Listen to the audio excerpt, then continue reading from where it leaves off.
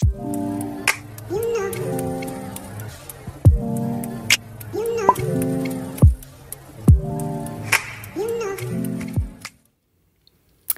hi welcome back to my youtube channel. If it's your first time here hi my name is millicent and on this channel i do all things motherhood lifestyle and everything else in between. Today i'm here with a sunday reset this is not what my sundays look like but this is what i aspire for my sundays to look like to be productive and to set the tone for the new week. If you know me or if you've been here for long you know that i truly truly advocate for doing things when you want to do them and being productive and you know getting your life in order. I'm, i really love order. I feel like having some type of routine helps my brain. I am a creature of routine of habit.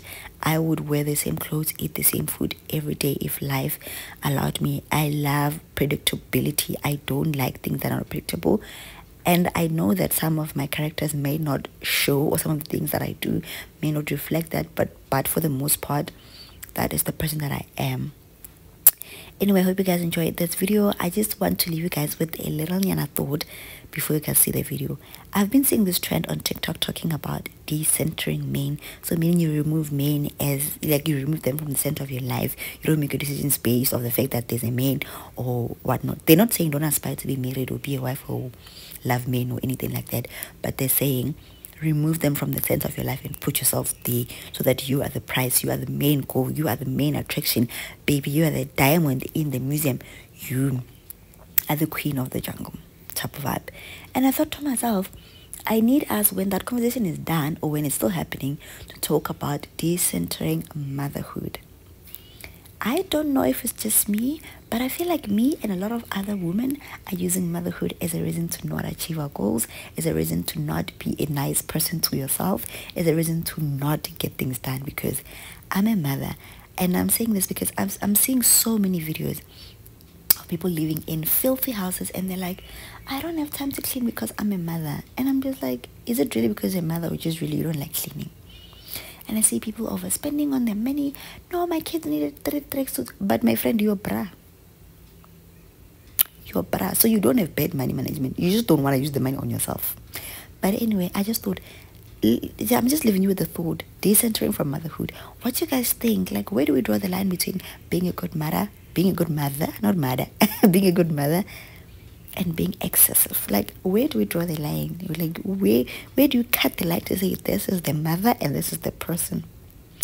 But anyway, hope you guys enjoyed this video. Don't forget to like, comment, and subscribe. And I'll be popping in here in the oh before I leave, guys, you will see my man, my man. Everybody calls him daddy. I'm really trying to get away from calling him my husband, my husband. I don't know. I find I'm starting to find it very uncomfortable, but not for myself, but because people say that it's uncomfortable for them to hear us saying, my man, my man, my man. So I'm gonna start calling him Daddy because that's what everybody calls him. Anyway, Daddy is cooking a domboro for me because I told him, Daddy, kinakali domboro. One thing about me, I am young, married, and spoiled, and that is my new brand. I'm young, married, and spoiled. In this era of my life, young, married, and spoiled.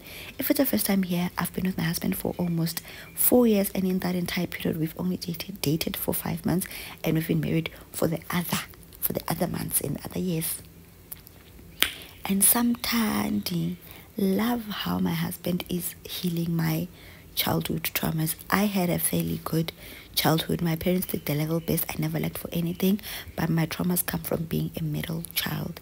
So as a middle child, I barely got any attention because my parents were either dealing with a teenager or they were dealing with the baby and I was just left in the middle fending for myself. Hence I have a lot of friends and I'm very talkative and people say I'm very forthcoming but I I, I think I'm very shy.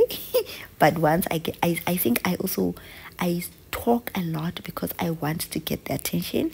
Anyway i don't want us to get into therapy. But yeah i love that being married is healing those parts of me because as a middle child i never got so much attention. I think my parents did their best. I know that they did their best but it was just not enough for me as a child and now that i'm grown it's starting to show up again that hey girl turn the attention you know but I'm not gonna do like post dance to get attention. I just when people give me the attention, I really really love it and I shine.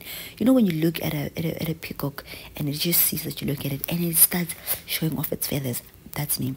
Anyway, getting back to this point. So I love that my husband can see those things and when I want his attention, he gives me and he tries his best to do like everything and anything that I want. So my baby was like, I'll make you don't guys, I can't bake anything that is has to do with an oven like and flour. It's always a mess. I've tried but I don't get it right. But Daddy does his best to always shop for me in those things because it's little things but he knows that they they make the little girl in me happy. You know when i want something and i get it he doesn't say you'll get it later or get it tomorrow but i get it now. So like the sense of urgency i don't know if i make sense. But anyway I'm also cooking beef stew. I'm actually preparing choslo, but I'm too lazy to like remove the bones and all that. So I just overcook it with the pressure cooker. But when you eat, you can tell what choslo. And let me tell you, it smells, it tastes and smells so good. And here's a trick. If you want your beef to taste amazing, add tomato paste or tomato sauce towards the end. Like when it's done cooking and it's just simmering on the stove, add some tomato sauce and you are set. I've spoken enough. I hope you guys enjoyed this video.